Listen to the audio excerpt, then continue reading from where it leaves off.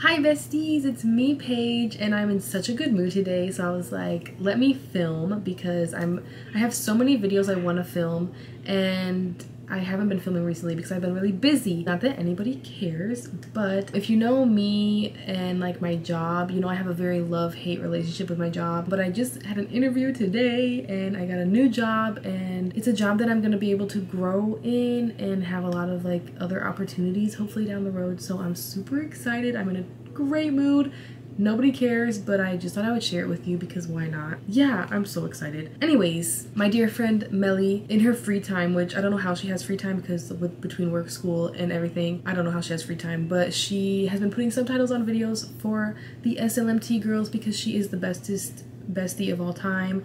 Shout out to Melly. Um, so I'm going to be reacting to SB19's Duncan Philippines Q&A, which I'm so excited about because without her putting subtitles on this, I would have never watched like watched it. I would have watched it, but like I wouldn't know what they're saying, obviously.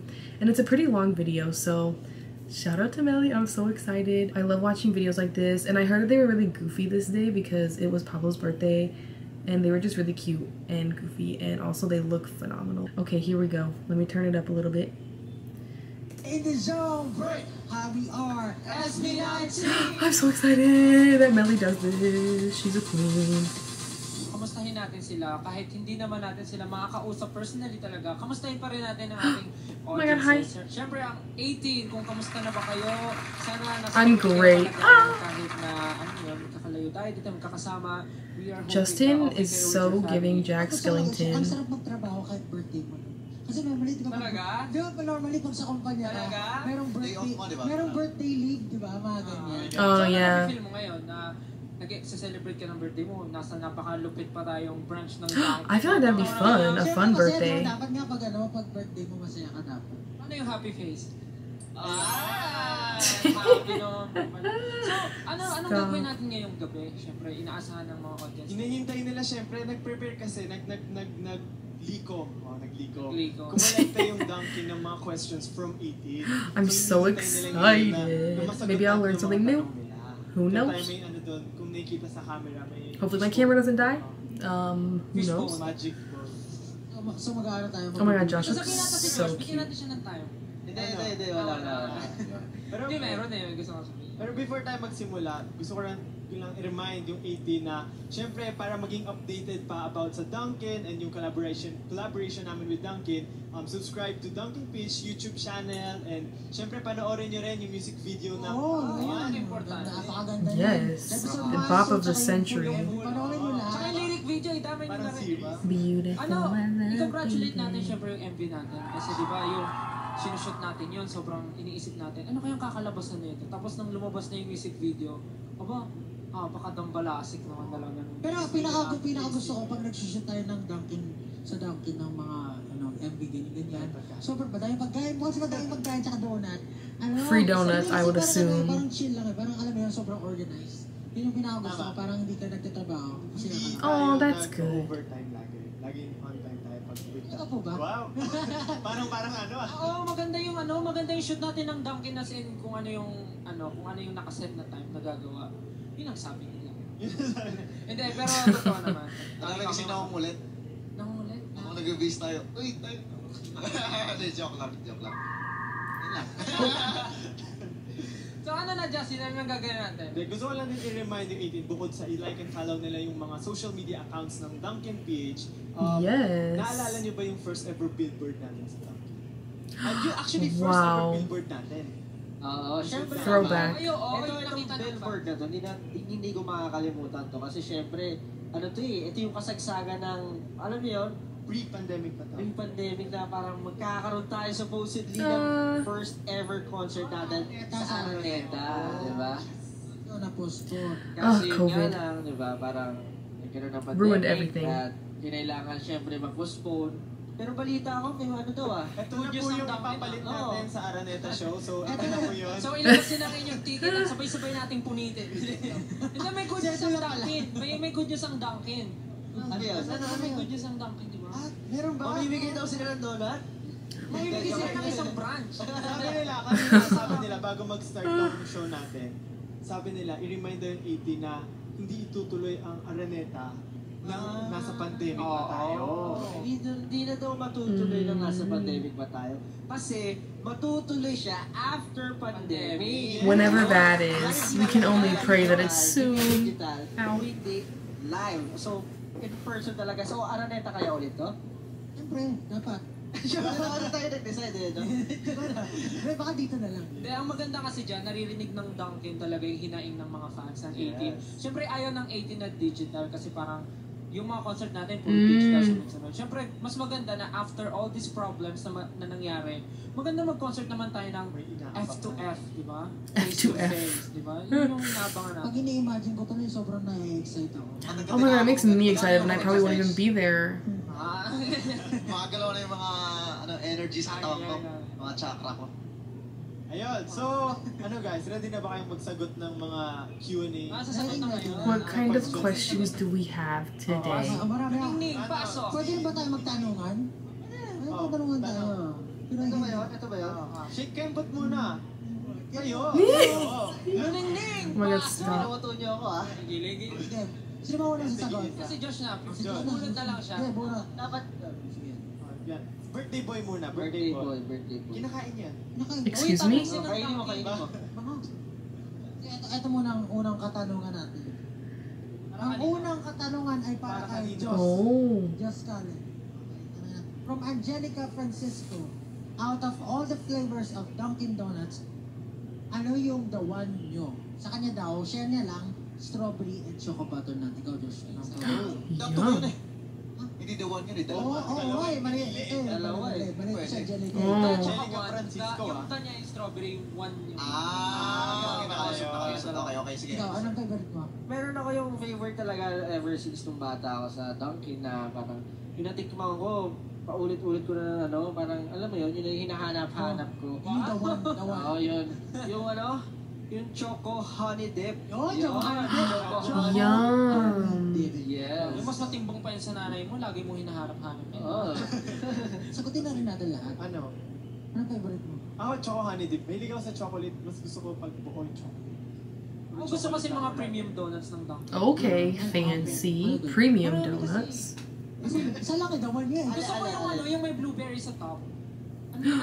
Yum. What kind of flavors y'all have over there? Cheesecake blueberry daw. Gusto ko yung blueberry. Ikaw, ikaw, Ken. Gusto ko yung Pang mga sa akin talaga, ano, Bavaria. Oo, Binubulong niya nga sa akin yung Bavaria. Ako talaga, ano, first love, first love ko, ano, strawberry filled. Yeah. Parang pag- My favorite is also nakakita ko ng strawberry-filled donuts. filled agad yung hinahanap. Eh, mura ka na, ikaw naman. Not many people like like jelly filled donuts. I love them. They're my favorite.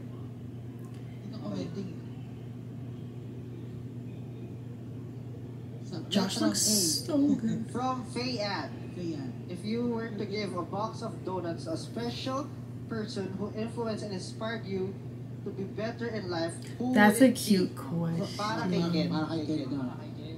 Of course, sa ano ko, sa family ko talaga. Especially sa grandmother ko. Kaso, wala na sila, di ba? Ah, sa ano ko na lang? Sa father ko, sa father ko.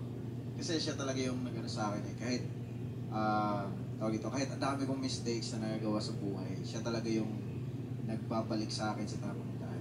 Silbi talaga silang Ah, papa, di ba? Yeah, ganun, ganun. Kasi pag naliligaw ka, kailangan mo ng My papa. heart. Ng gabay. Mm. Yep. Papa, papa, kayo ni mama. My heart. Ayun. Bulit ka na, bulit ka na. Sustain.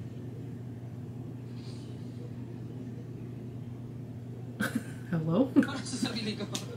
Oh, for himself. Ako na lang magbasa daw. Miss na ako. From Mary Mirabel Lipunhay Bintrostro.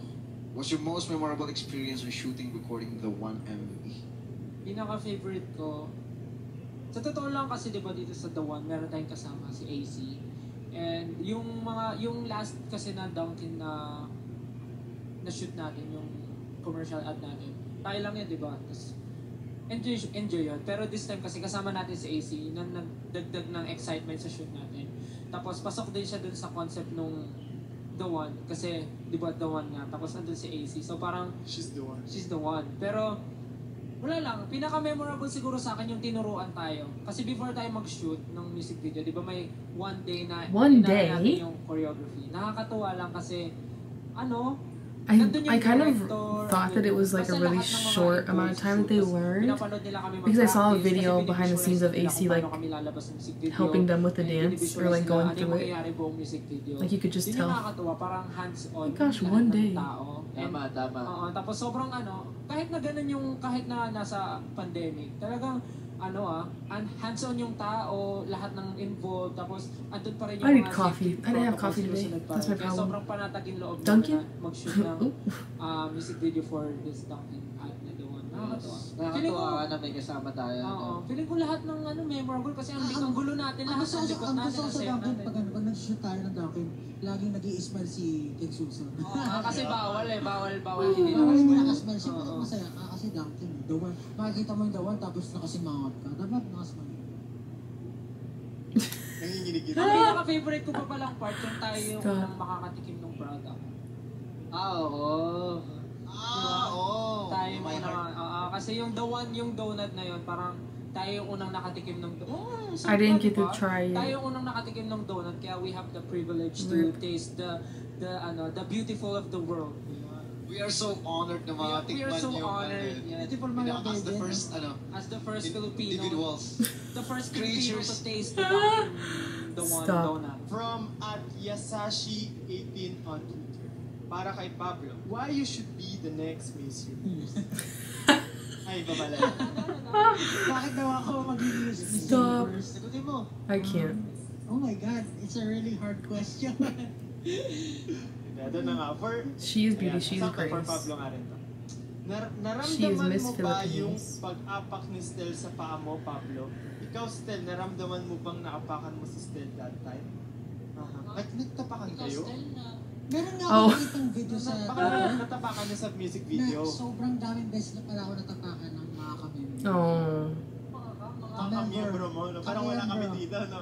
Kamembro ko. Tapos, ano, parang hindi ko naman nararamdaman. Pag nagpa-perform, hindi ko nararamdaman. Pero, pero alam ko na may natumapak sa paa ko, tapos hindi naman masakit. Siguro pag gano'n talaga, pag nagpa-perform ka kasi syempre Mm. kailangan focus na focus ka, di ba?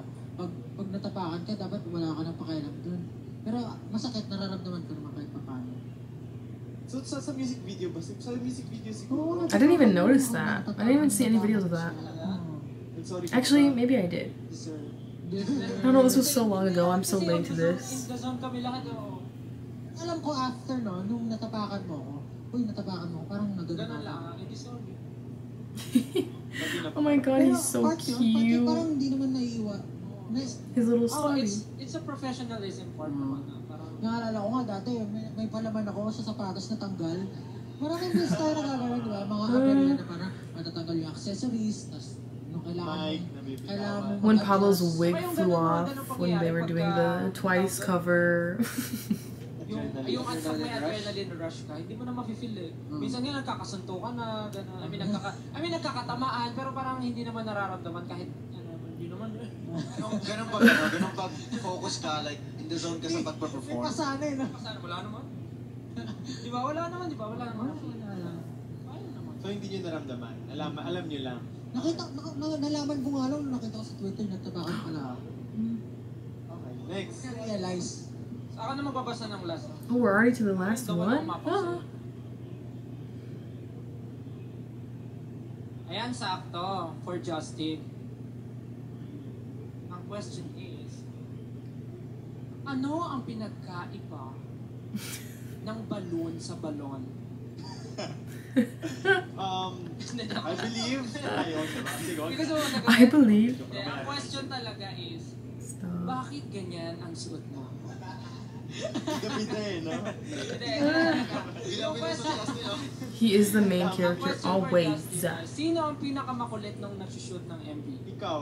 Ako ba? Oo, si Stel. Yung kulit, hindi The makulit no na, ano, hesitation. Yung hindi masunurin, yung mahirap tawagin. Makulit na bibo.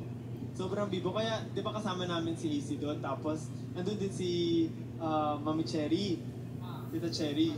Tapos, favorite na siya ni Mami Kala ko Cherry. sabi mo si Ma'am Charo. Tita Cherry. So, Si Ma'am Cherry. favorite, favorite na siya ni Tita Cherry kasi sobrang bibo ni Stel. Lagi nagpapatawa. Actually, kahit sa ang That is so Stel, though. He's everyone's mom's sobrang bibo niya, favorite. sobrang Like, active. come on. Let's not kid ourselves here. Bakit? Kailan ba ka nawala sa mood? Hindi ko na naman alam. May share ako. Sige. Nung 5 years, 5 or 6 years old ata ako. Na first nakatikim ako ng Dunkin' Donuts. Kasi poor kami, di ba? Tapos malayo kami sa city. Five tayo ngayon. Oo nga, pero share lang ako. Tapos, na may pasalubong yung ano ko, yung lola ko na Dunkin'. Tapos, parang feel ko yun yung pinakamasarap na pagkain ng tikman ko sa buong mundo. Oh. Kasi na-ignorante talaga ako sa Dunkin'. Doon ako na doon ko natikman yung Bavarian talaga. Kaya sobrang And it's still his favorite because it's nostalgic. na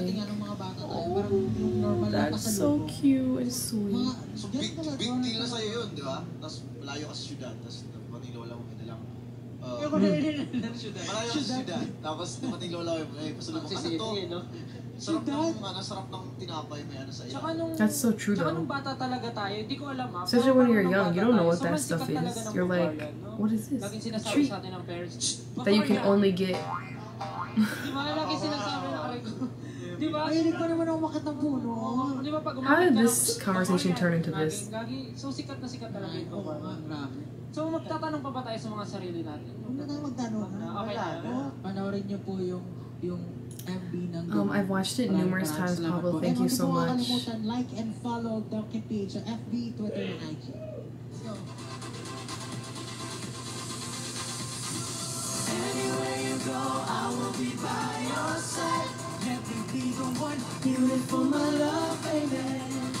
Oh, that song is so good. Oh my gosh, I'm so happy I could react to this. Hopefully, you guys can expect a lot more reactions of things like this that usually don't get subtitles, but Melly is so kind and puts subtitles on them for us. And so I'm really excited to start reacting to more like interviews and stuff like that. I'm gonna see what else. Like she also put subs on let's see, let's see, let's see. Them playing charades, which I'm really, really, really excited to watch. And also the interview from Double A Decada that I'm also going to watch. So look forward to those. And I literally cannot wait. Melly, you are a saint for this. Love you the most. Um, but yeah, if you guys enjoyed this video, please please let me know and I will continue uploading more reactions to things like this instead of just performances trying to like react to more stuff um so yeah thank you so much for watching make sure to like and subscribe and I'll see you in my next video bye